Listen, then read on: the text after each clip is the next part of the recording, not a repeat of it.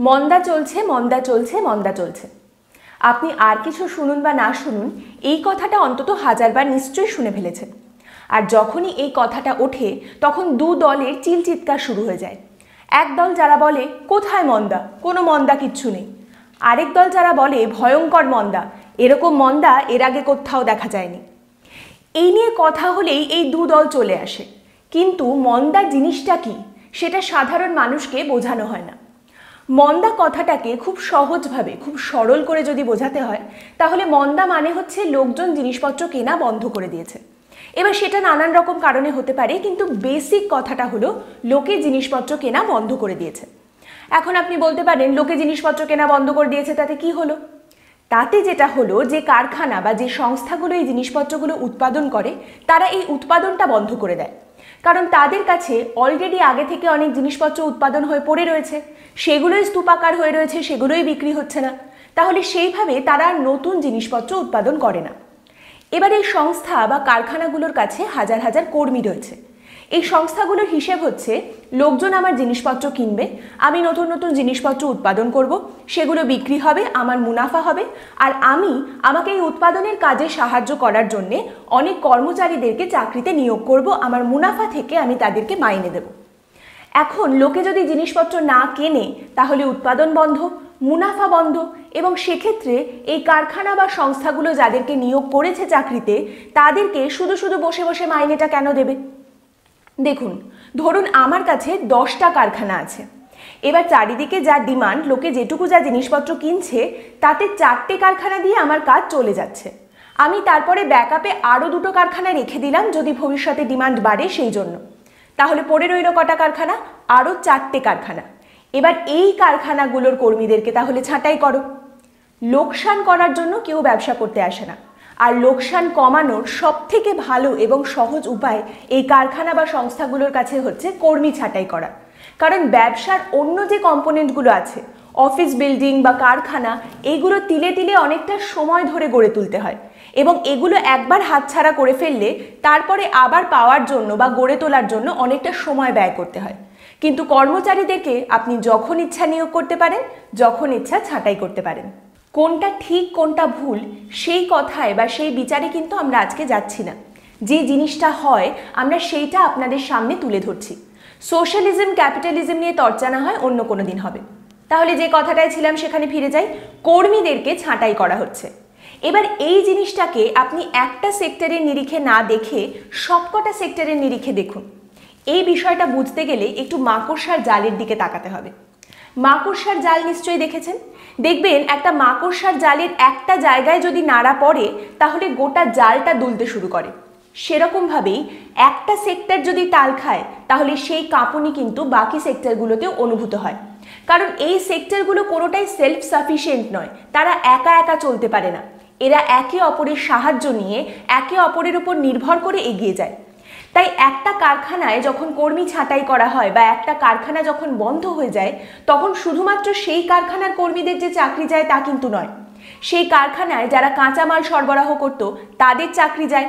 সেই কারখানার কর্মচারীদের জন্য ধরুন কারখানার চারিদিকে যে ছোটোখাটো খাবারের দোকানগুলো তৈরি হয়েছিল, ঘুগনি, পাউরুটি বা ছোটোখাটো হোটেল, সেগুলোর ব্যবসা বন্ধ হয়ে যায়। সেই কারখানা চত্বরে কর্মীদের আসা যাওয়ার জন্য যে অটো, রিক্সা এগুলো চলতো, সেগুলো কমে যায়। এইভাবেই জিনিসপত্রগুলো কমতে শুরু করে এবং তার সঙ্গে আরও কমে যায়, যেটা প্রথমেই বলছিলাম, জিনিসপত্র কেনার লোকের সংখ্যা। কারণ এই কর্মচারীরাই মাসের শেষে একটা মাইনে নিয়ে বাড়ি যেতেন এবং সেই টাকা দিয়ে তারা জিনিসপত্র কিনতেন। কিন্তু যদি চাকরি না থাকে, তারা যদি মাইনেই না পান, তাহলে তারা টাকাটা কোথায় পাবেন আর জিনিসপত্রই বা কীভাবে কিনবেন? এইভাবেই পুরো বিষয়টা গোল গোল একটা আবর্তের মধ্যে ঘুরতে থাকে। কারখানায় ছাঁটাই করা হয়, তার ফলে তাদের কাছে টাকা নেই, তার ফলে তারা জিনিসপত্র কিনতে পারছেন না, তার ফলে ডিমান্ড তৈরি হচ্ছে না, মুনাফা হচ্ছে না কারখানাগুলোর এবং কারখানাগুলো কর্মী ছাঁটাই করছে। এই রকম একটা সার্কেলের মধ্যে এটা চলতে থাকে এবং তার সঙ্গে আরও একটা সমস্যা হয়। এই যে কর্মচারীরা, এদের মধ্যে অনেকেরই কিছু লোনস থাকে। কারুর পার্সোনাল লোন কারুর কার লোন কারুর হাউজিং লোন এবার তারা চাকরি হারানোর পর, অর্থাৎ মাইনে না পেলে এই লোনগুলোতে ডিফল্ট করতে শুরু করেন কারণ টাকাই আসছে না তো ব্যাংককে ইএমআই তারা কোথা থেকে দেবে? এর ফলে ব্যাংকের ব্যাড লোনসের সংখ্যা বাড়তে থাকে। ব্যাংকগুলোর ক্ষেত্রে রাঘব বোয়াল মানে বিজয় মালিয়া, নীরব মোদী, এরা সবাই পালিয়ে যায়। কিন্তু এই সাধারণ মানুষগুলো পালাতে পারেন না, কারণ তাদের কাছে সেই ক্ষমতা নেই। এবং এর ফলে দুটো জিনিস হয়। এক এই মানুষগুলোর উপরে চাপ বাড়তে থাকে ব্যাংকে টাকা দেওয়ার জন্য এবং দুই, ব্যাংকের এবং সরকারের ব্যাড লোনসের যে সমস্যা রয়েছে সেইটা আরও বাড়তে থাকে। তাহলে সরকার এখন কি করতে পারে? সরকারের কি করণীয়? এই পরিস্থিতিতে দাঁড়িয়ে এই মন্দা থেকে বেরিয়ে আসার জন্য সরকারের হাতে দুটো সহজ উপায় আছে। এক সাধারণ মানুষের হাতে আরও বেশি করে টাকা পৌঁছে দেওয়ার ব্যবস্থা করা। যাতে তারা আবার জিনিসপত্র কিনতে শুরু করেন, কারখানাগুলো আবার উৎপাদন করতে শুরু করে এবং এই চাকাটা আবার ঘুরতে শুরু করে। তাই যাদের ওপর এটা নির্ভর করছে, এই ডিমান্ডের বৃদ্ধিটা, তাদের হাতে কি করে আরও বেশি করে টাকা পৌঁছে দেওয়া যায়, সেই ব্যবস্থা করা। এবং দু নম্বর, যারা উৎপাদন করছে, অর্থাৎ যারা সাপ্লাই করছে, সেই কারখানা বা সংস্থাগুলোকে সরকারের তরফ থেকে কিছু সুযোগ সুবিধা দেওয়া, কিছু ছাড় দেওয়া, কিছু বেনিফিটস দেওয়া, যাতে তারা এই উৎপাদনটা বন্ধ না করে এবং তারা কিছু ডিসকাউন্ট দিয়ে জিনিসপত্র বাজারে নিয়ে আসতে পারে। ক্রেতারা দেখবেন যে জিনিসপত্রের দাম কমেছে এবং তাদের কেনার প্রবণতাটা বাড়বে। কিন্তু সরকার এই মুহূর্তে দ্বিতীয় জিনিসটা করছে, প্রথম জিনিসটা না করে। এইটা একটা ভুল। আর এটা কেন ভুল সেটা একটু বুঝিয়ে বলা দরকার। দেখুন, আমরা বর্তমানে এমন একটা পরিস্থিতিতে দাঁড়িয়ে রয়েছি, যেখানে যতই ডিসকাউন্টে জিনিসপত্র বাজারে আসুক না কেন, সাধারণ মানুষ কিন্তু সেভাবে কিনছে না, যতই কম দাম হোক না কেন। এর কতগুলো কারণ রয়েছে? প্রথম কারণ, নিত্য নৈমিত্তিক জিনিসপত্র। একজন সাধারণ মানুষের যেগুলো বেসিক নিডস সেই জিনিসপত্র সাধারণ মানুষেরা আগে যে দাম দিয়ে কিনতেন, এখন তার থেকে অনেক বেশি দাম দিয়ে সেগুলো তাদেরকে কিনতে হচ্ছে। তার কারণ ফলমূল থেকে শুরু করে শাকসবজি, গ্যাস, সমস্ত কিছুই এখন অগ্নিমূল্য।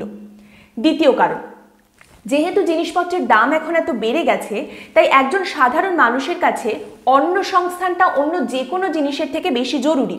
এবং এই জিনিসপত্রের দাম বেড়ে যাওয়ার ফলে অন্য জিনিসপত্র কেনার আগে একজন সাধারণ মানুষকে ভাবতে হচ্ছে আচ্ছা এই জিনিসটা না কিনলে কি আমার চলে যায়? তাহলে কেনার দরকার নেই।